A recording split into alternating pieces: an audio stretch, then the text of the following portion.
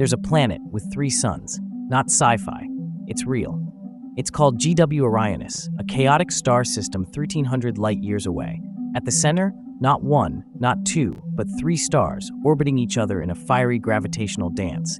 And swirling around them, a warped, twisted disk of gas and dust so broken it looks torn open by invisible forces. Scientists believe a planet is forming in there. But this isn't like our solar system. That disk, it's tilted, bent, like someone grabbed a vinyl record and twisted it. If a planet orbits in there, it would have no stable path. Its axis might spin like a coin on edge. Its days and nights, a constant, chaotic shuffle.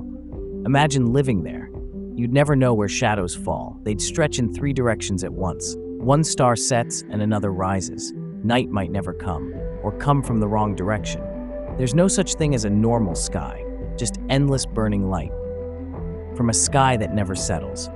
Astronomers are still debating if the planet truly exists, but the evidence is building. And if it does, it would be the first world known to orbit a triple star system. Comment three stars, zero sleep. Subscribe to Beyond Light Years for space facts that feel like fever dreams, but are completely real.